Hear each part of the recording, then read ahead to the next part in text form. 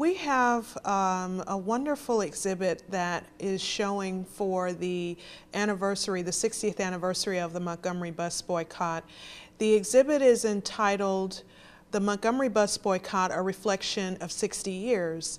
And as part of this exhibit that will run through the end of February, uh, we are going to have a special collection that will show for one week beginning November 30th and ending December 4th. This special collection features artifacts such as Mrs. Rosa Parks' fingerprint arrest record. We have court documents related to the court case for uh, desegregating the buses. And we also have a fare machine from a city bus. So we have quite a few objects that are on display uh, just for one week only for the public to come and take a look through. Uh, this exhibit is free and open to the public. Uh, you won't have to pay admission charge to see the exhibit. So if you want to go through the main exhibit, you can pay an admission fee.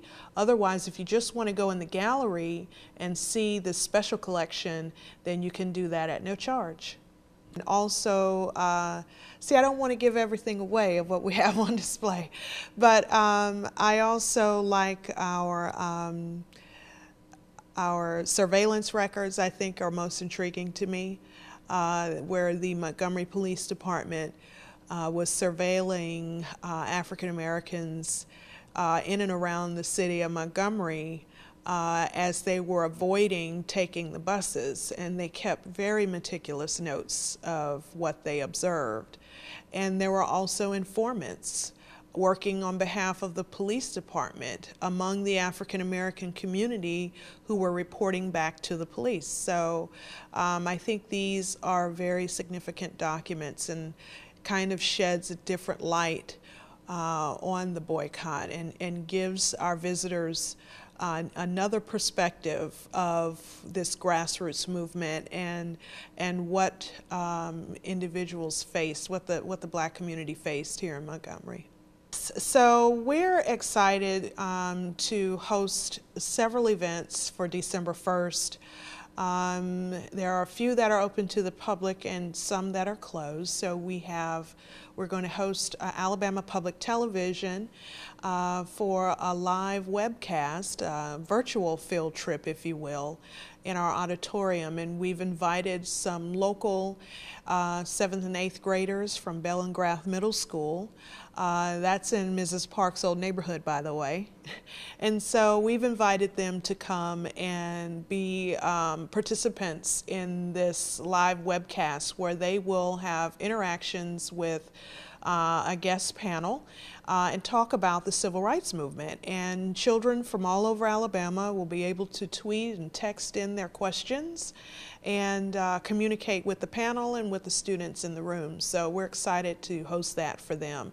In addition, uh, the Rosa Parks Museum will have complimentary admission on December 1st, so we will be free and open to the public. So we encourage everyone to come out and take a look through the museum. We have a, a statue that has just been restored the Rosa Parks uh, statue of her seated on the bus. So that has just been restored by the artist Eric Blome and relocated to the atrium. So it's right as soon as you walk in the door in a more prominent location. It's a very popular statue with the public. So we're very excited about that.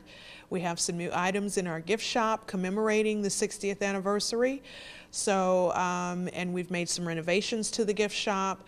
So uh, we hope that people will come in and take a look at some nice um, deals and things that we have available for the gift shop. Also on December 1st, a Montgomery City bus will be parked in the front of the museum. The bus dates back to 1955, so we're excited to have a bus from the time period uh, available for visitors to tour and walk through. We'll have volunteers giving brief tours of the bus. And uh, also, we have C SPAN will be coming down with the C SPAN bus. And on that C SPAN bus, uh, they will have items related to the civil rights movement and educational features for everyone to come through and experience. So uh, we're excited to have that as well. So those um, buses will be uh, in front of the museum on December 1st. So we're really excited and looking forward to sharing the museum with the public. And all of these events, and including the exhibit itself, um, the, the special collection and the um, exhibit, the temporary exhibit that's in the gallery, is kind of a beginning and an introduction of myself as the new director uh, to the public and to get the public to see my vision for this museum going forward.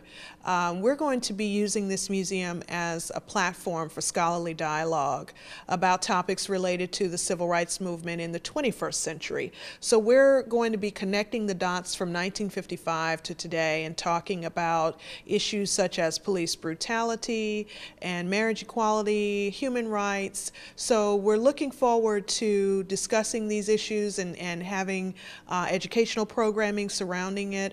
So uh, hopefully the public will come out and take a look at what we're doing as an introduction and participate and come back and see us uh, in the future when we have uh, educational programs.